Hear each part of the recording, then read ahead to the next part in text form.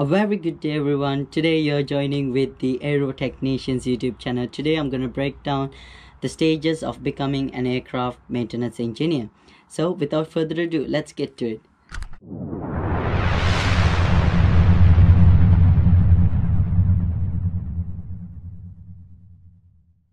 So our first one is schooling. Well, there are two types of schools in order to become an aircraft maintenance engineer. One is called an approved school and the second one can be a modular course programs. So what are the difference between an approved school and a modular program? Well, an approved school is an approved school by a civil aviation authority of that country and a modular course is not approved by a civil aviation authority in that country. So what are the pros and cons?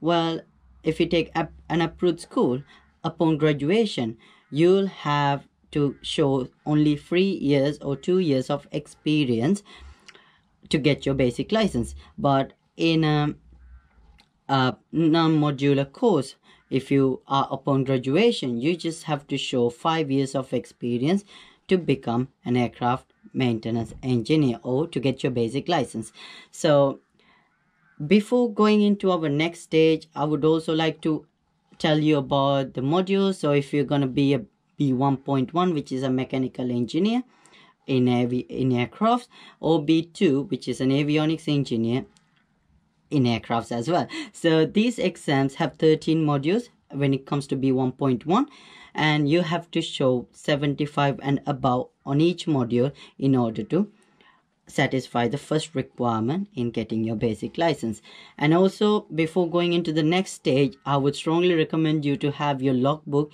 or the cap 741 in your hand because that's where you're going to log everything in the next phase so the second stage is your basic experience. So where do you have to get your basic experience and how long have, have you got to have your basic experience? So the duration depends solely on your school, whether if it's an approved school or a modular program. If it's an approved school, you just roughly have to take three years of experience.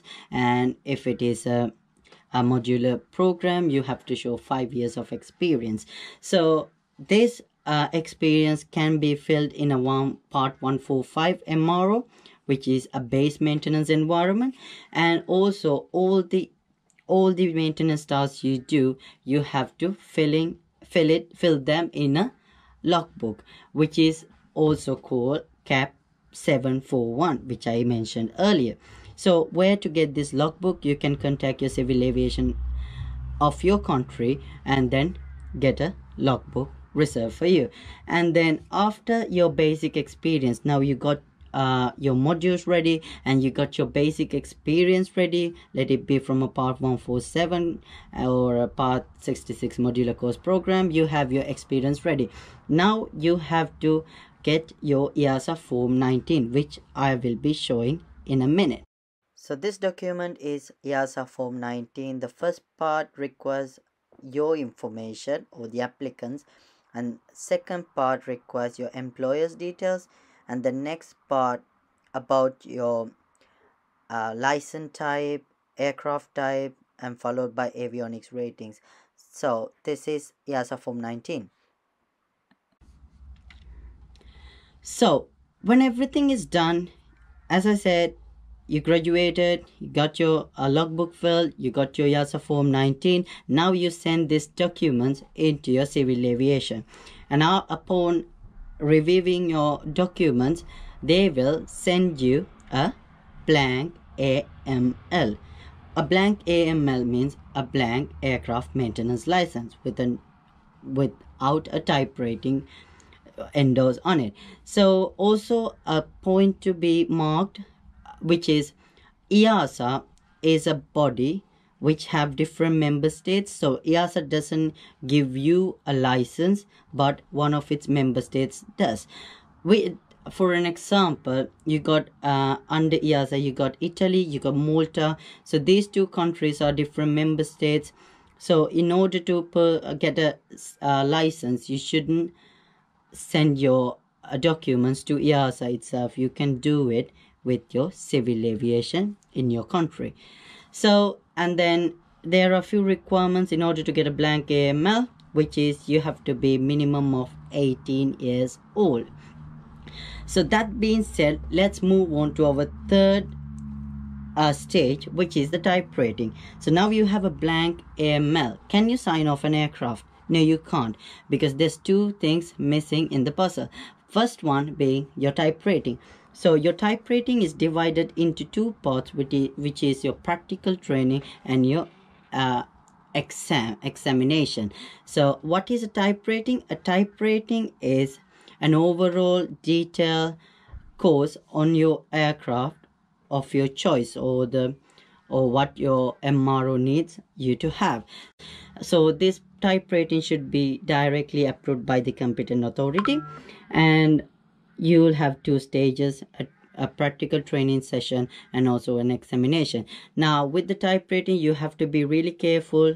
In order before going for a type rating you need to contact your um, civil aviation or your competent authority and also with the uh, with the part 147 that you're going to get your type rating you can get your type rating with a part 147 so why did i say you need to talk with both parties? You know why? Because we had a issue with one of my workmates. They they were working in one member state and they wanted to convert their license into another uh, member state.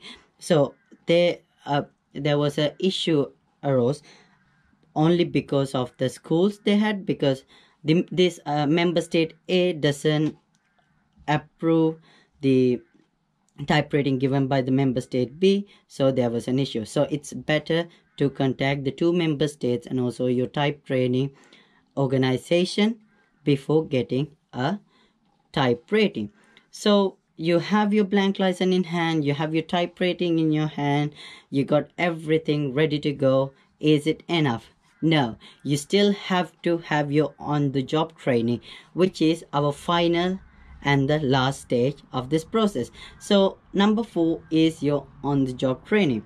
So usually an OJT is given on your first type rating and you have to fill in your logbook again which is given by the MRO or the competent authority you fill in your logbook and then you send send them before sending it you have to compile your blank AML which is aircraft maintenance license and your type rating certificate and your on-job training logbook and you compile them all send it to your competent authority and then you will be given a full EASA aircraft maintenance license.